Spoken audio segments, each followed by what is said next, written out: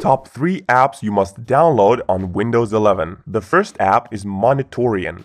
It's a free and absolutely life-changing utility. This app allows you to manually control the brightness of all your monitors, which surprisingly is really handy, especially for saving your eyes at night. If you have a desktop PC with a monitor or a laptop that connects to a separate monitor, then this app is a lifesaver. You do not have to adjust each monitor's brightness manually by clicking the buttons below the display. Just open the app and slide the sliders to change the brightness of the monitor.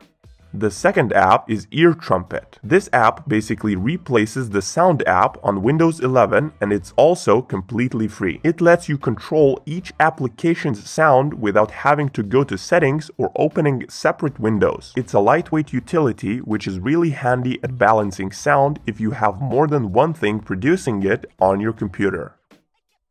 The third and final app is Notepads, a modern, lightweight text editor with minimalistic design. This app is 10 times better than the default Notepad app on Windows 11 and Windows 10. It has a fluent design with built-in tab system and most importantly, dark mode support. It's as fast and as lightweight as the default Notepad app, can launch from command line or PowerShell by typing notepads, has multi-line handwriting support, life-saving session snapshot feature, and much more.